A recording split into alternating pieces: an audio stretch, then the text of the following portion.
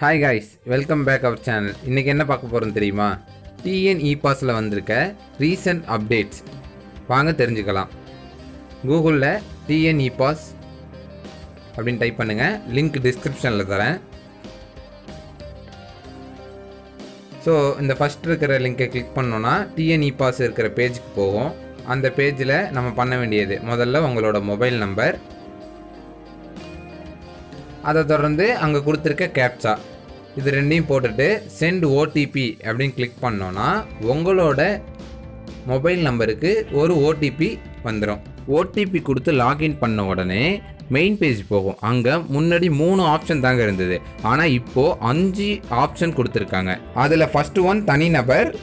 இதுக்கான அப்ளிகேஷன் எப்படி ஃபில் பண்ணுங்கிறத செப்பரேட்டாக நம்ம ஒரு வீடியோ கொடுத்துருக்கோம். அதோட லிங்க் டிஸ்கிரிப்ஷனில் இருக்குது செகண்ட் ஒன் வெளிநாட்டில் இருக்கிறவங்க நம்ம நாட்டுக்கு வரத்துக்காக தேர்ட் ஒன் நம்ம நாட்டுக்குள்ளேயே விமானம் மூலமாகவும் ரயில் மூலமாகவும் பயணம் செய்கிறதுக்கு அதை தொடர்ந்து தொழில் நிறுவனங்கள். அவங்க வந்து சென்னைக்குள்ளே சென்னைக்கு வெளியே தமிழ்நாட்டிலேருந்து வெளியே. இங்கெல்லாம் போய் தொழில் செய்கிறாங்க இல்லையா? அந்த கம்பெனிஸ்க்காக கொடுத்துருக்காங்க.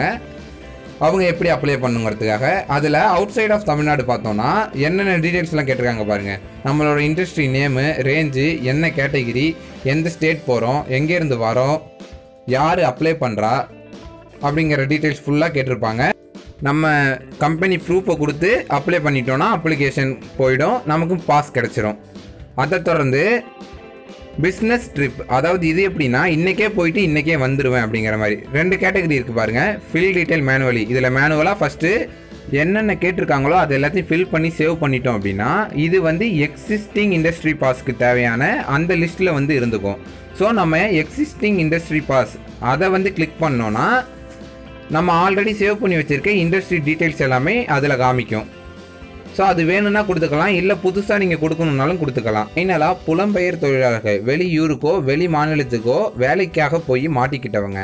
அவங்க ஊருக்கு திரும்பி வரத்துக்கான அப்ளிகேஷன் ஃபார்ம் தான் கடைசியாக கொடுத்துருக்க இந்த ஃபார்ம் இதுலேயும் மேனுவலாக அவங்க எந்த கம்பெனியில் ஒர்க் பண்ணுறாங்க என்ன ஒர்க் பண்ணுறாங்க அப்படிங்கிறத ஃபில் பண்ணிட்டோம் அப்படின்னா இந்த அப்ளிகேஷன் ஃபார்மும் சேவ் ஆகிடும் ஸோ நெக்ஸ்ட்டு மறுபடியும் அவங்களுக்கே நம்ம பாஸ் அப்ளை பண்ணுறோம் இல்லைனா அவங்க கூட ஒர்க் பண்ணுறவங்களுக்கு பாஸ் அப்ளை பண்ணுறோம் அப்படின்னா அந்த எக்ஸிஸ்டிங் இண்டஸ்ட்ரி பாஸில் கிளிக் பண்ணி இவங்களோட டீட்டெயில்ஸ் அப்படியே எடுத்து போட்டு அப்ளிகன் நேமை மட்டும் மாற்றி நம்ம அப்ளை பண்ணிக்கலாம்.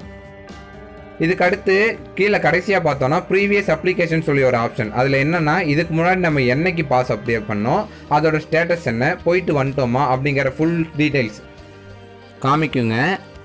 இப்போ புதுசாக வந்திருக்க ரெண்டு அப்டேட் என்னன்னு கேட்டிங்கன்னா புலம்பெயர்ந்த தொழிலாளர்களை சொந்த ஊருக்கு அழைச்சிட்டு வரதுக்காகவும் பிஸ்னஸ் ட்ரிப்புன்னு சொல்லி ரெண்டு அப்ளிகேஷன் ஃபார்ம் கொடுத்துருக்காங்க. இதன் மூலமாக ஈஸியாக அப்ளை பண்ணி நம்ம பாஸ் வாங்கிக்கலாம். மறக்காம சப்ஸ்கிரைப் பண்ணுங்க.